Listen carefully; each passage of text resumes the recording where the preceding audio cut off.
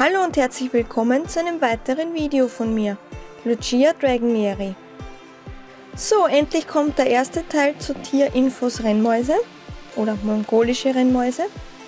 Ja, dann fangen wir mal an. Mongolische Rennmäuse besitzen im Gegensatz zu Farbmäusen und Hamstern 20 Zähne, und zwar 16 Backenzähne und 4 Schneide- bzw. Nagezähne, wobei nur die Nagezähne nachwachsen. Die Geschlechtsreife bei den Jungtieren tritt ungefähr bei der achten Woche ein. Wenn die Würfe kleiner sind, also weniger Welpen, dann kann das schon früher passieren. Die Rennmausmütter tragen ungefähr 25 Tage und bekommen 4 bis 7 Welpen. Wenn die Mütter aber während der Tragzeit säugen, kann sie die Tragzeit auf 45 Tage verlängern. Die Rennmauskinder werden nackt und blind geboren, sind somit Nesthocker. Die Zuchtreife, also züchten, sollte man erst mit Rennmäusen, wenn sie drei bis vier Monate alt sind. Vorher sind sie noch zu jung und unerfahren.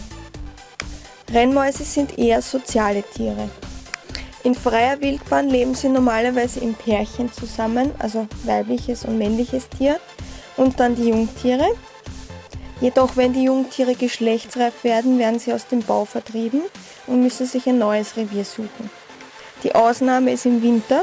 Rennmäuse äh, werfen normalerweise im Winter nicht, aber wenn die Jungtiere zu spät gekommen sind und es schon kalt wird, dann bleiben die Kleinen mitunter auch über den Winter bei den Eltern, werden dann aber gleich vertrieben, sobald es wieder wärmer wird. Daher ist es vorteilhaft, Rennmäuse auch in Gefangenschaft nur zu zweit zu halten. Die Körpertemperatur beträgt 38,1 bis 38,4 Grad Celsius. Ihr Herz schlägt ungefähr 260 bis 600 Mal in der Minute. Rennmäuse können in Gefangenschaft ein Alter von ungefähr 3 bis 4 Jahren erreichen. In seltenen Fällen werden sie sogar 5. Wobei man dazu sagen muss, das ist von der Zeit im Labor, weil wildlebende, also wenn man jetzt eine wilde Rennmaus einfangen würde, kann die bis zu 7 Jahre alt werden. Sieht man auch bei den Farbmäusen bzw. Hausmäusen, dass die wildlebenden wesentlich älter werden als die aus dem Labor. Leider.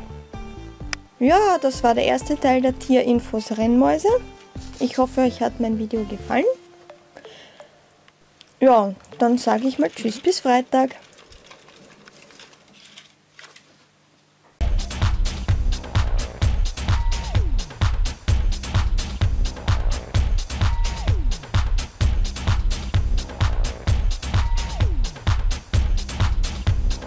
Yeah.